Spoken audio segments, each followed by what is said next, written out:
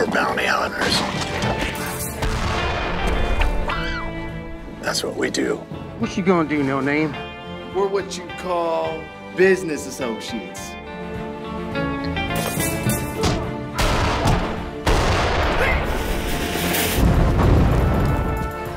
We need an identifiable corpse. We're not getting paid on this job. Yep. Oh my lord! They're chasing me!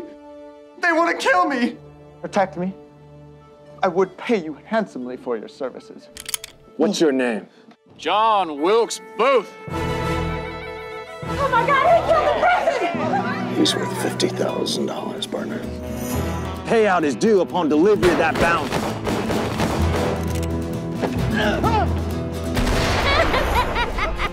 I'm sorry to say, you no longer have the advantage. How'd you come about going after John in the first place? I guess I'm kind of like y'all in that. Done my fair share of bounty hunting. Now! Where's the gold? We ain't after the gold, just the bounty. What they look like? Gringo y un chino. Excuse me, gentlemen. I sell candles.